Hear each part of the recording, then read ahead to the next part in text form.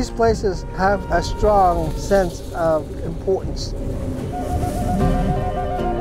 This site is a very special place. This place has ties to modern day people. These sites hold the stories of these communities which are unique.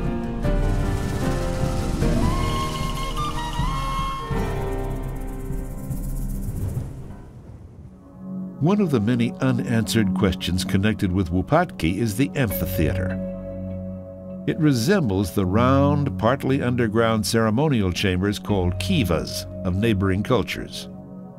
No evidence of a roof has been found, and many other customary features of the kivas are omitted.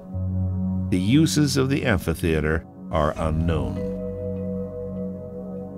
Wupatki's nearby ball court is oval in shape. The villagers here had trade contacts with a different people to the south. This group played a strenuous ball game, probably learned from other cultures still farther south in Mexico. Stairs and paved trails provide access to the cliff homes. as soon as we got up in the morning, we ate breakfast and then we were out. So by the time this became a monument in 1915, there was really nothing left of this area. So probably a lot of the artifacts that were taken from here are probably back east or in the rear.